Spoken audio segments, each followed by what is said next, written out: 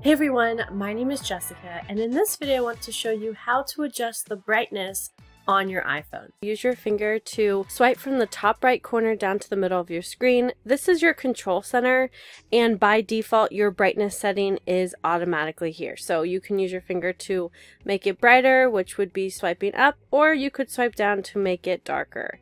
Now the other thing you can do straight from this control center is if you hold down this brightness setting, you can notice that I have True Tone on.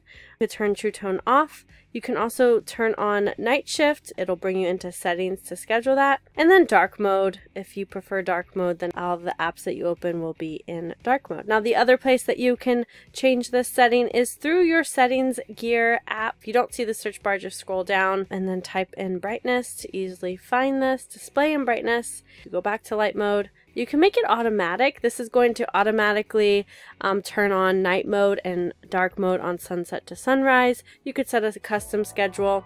And again, true tone on or off, brightness, bright or not. I hope this video was helpful for you and I'll catch you in the next one.